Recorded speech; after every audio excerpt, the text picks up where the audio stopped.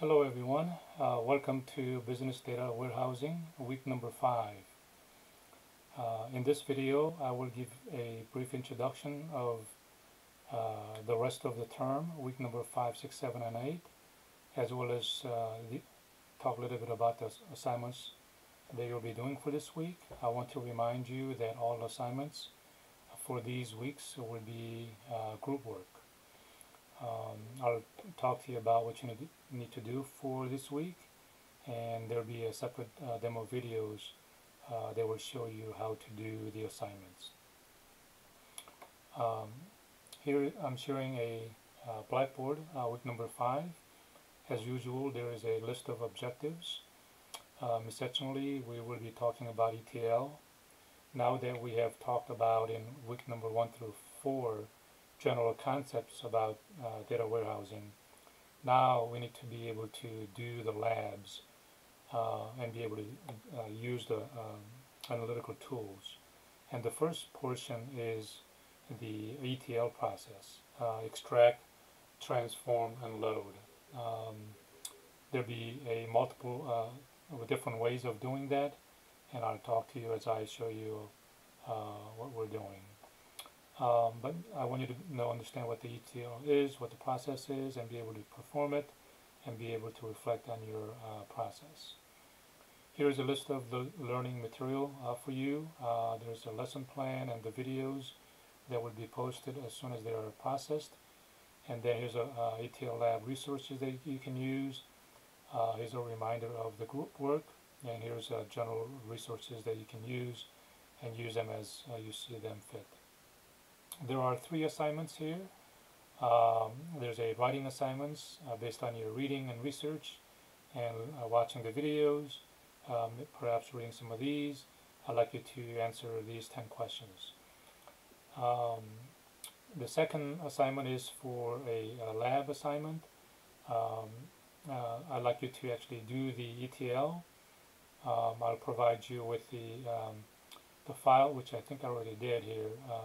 Excel file and I'll show you how to do but um, as you watch the video I'd like you to submit this uh, with these uh, three items um, the uh, processed file uh, that is ready to load and a screenshot of the Visual Studio uh, showing the file transfer and a screenshot of the SQL Server showing the um, work file records.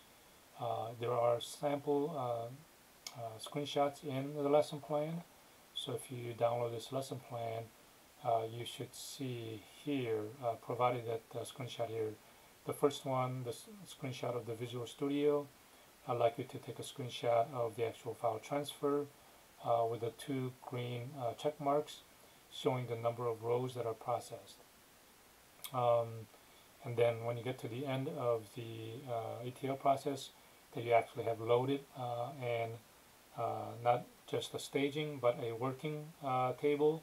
Uh, I'd like you to take a screenshot of this showing specifically the SQL Server instance for your whoever is doing in your group showing the both the staging and the working table and the script that pulls the top 1000 you, don't have to show 1000 here.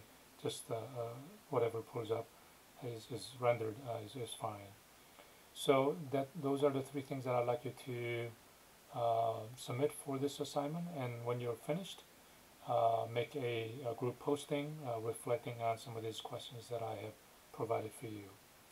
So that's it for this week. Um, uh, we're now uh, just kind of wrapping up.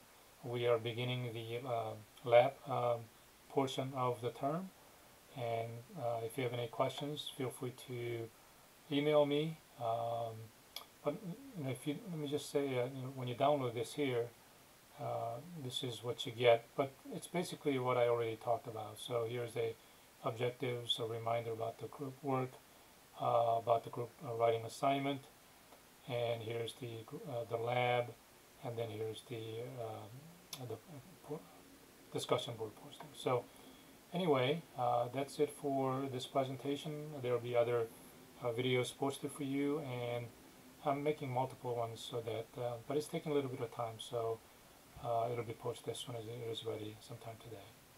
Um, look forward to receiving your work. Uh, have a good week. Take care and have a good Thanksgiving. Bye bye.